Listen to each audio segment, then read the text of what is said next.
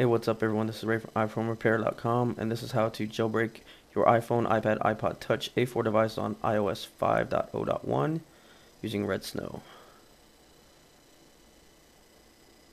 Alright, as always, remember to back up your device to iTunes if you do not want to lose any of your information or media. First, you may want to start off by right-clicking and running as administrator. Once you do that, you want to make sure that your iPhone is connected to your computer via USB and is off. Then hit Next.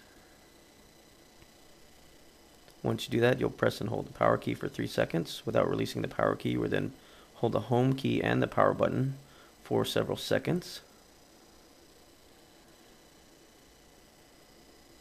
Then you'll release the power key, but keep holding the home key until your device goes into DFU mode. You'll know it's in DFU mode because the screen will go black. You'll then see identifying on your screen. Now this process can take a while. Now of course I sped it up for the video so you didn't have to sit here this whole time, but it can take a little while, so be patient.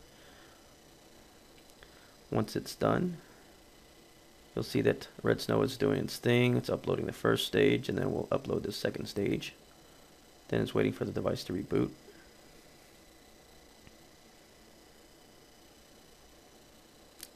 It's patching the kernel.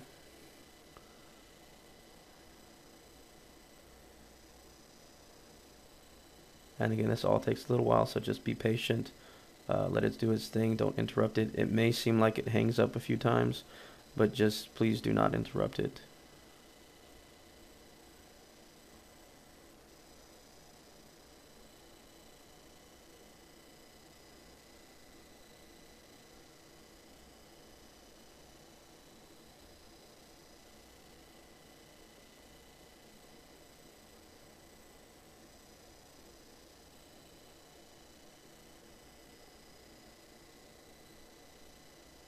Alright, now we're moving along. It's going a little bit quicker.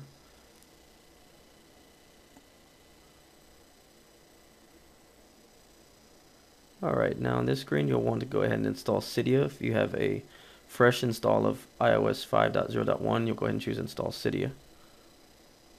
And then hit Next. Now just wait for your iPhone to reboot. It'll upload the RAM disk.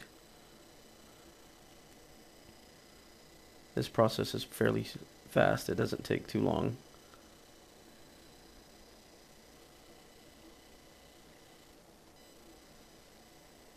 One last reboot and you're done. So once you're done, this is what you should see on your iPhone screen. It's a bunch of script and everything. And then you'll see this uh, jailbreaking a file system, moving applications. Moving applications can take a while. Again, be patient. It may stay hung on that screen. I sped it up for the video so you didn't have to watch all of it. Uh, but just wait for that.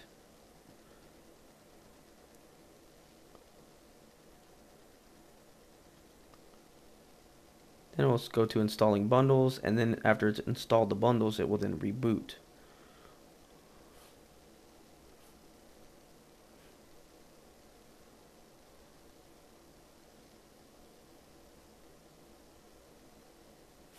Now once your iPhone reboots, you want to go ahead and slide to unlock, and then you want to go to Cydia.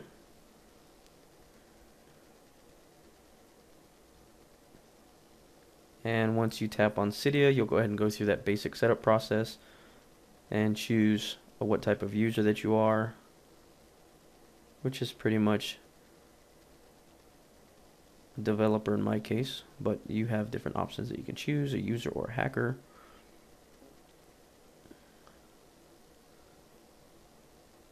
And once you've done that, you're done.